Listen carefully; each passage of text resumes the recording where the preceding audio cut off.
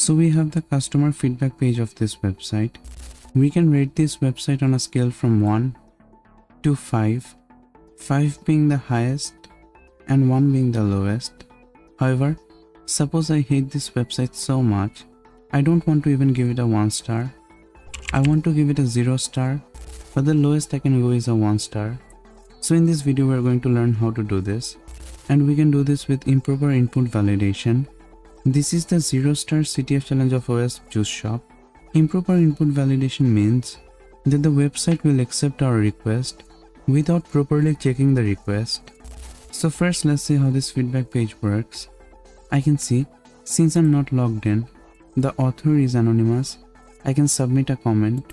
I'll type I really really hate this website.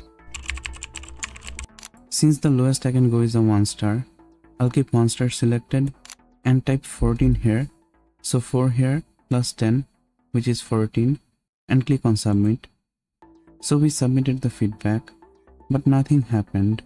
Now let's try to again submit this request but this time intercept the request with our burp suite so that we can modify the request. So I'll turn on my burp proxy, turn the intercept on and again type the comment I really really hate this website. Keep one star selected and submit the captcha which is 6 and click on submit and I can see we intercepted the request.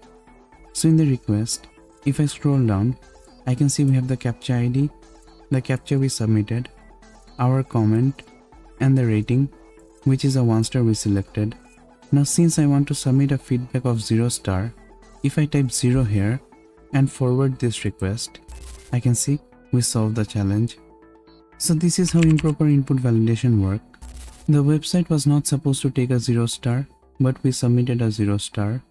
So we're going to be going over the challenges of OWASP Juice Shop. If you want to see more of this content, please subscribe to the channel. Thank you so much for watching.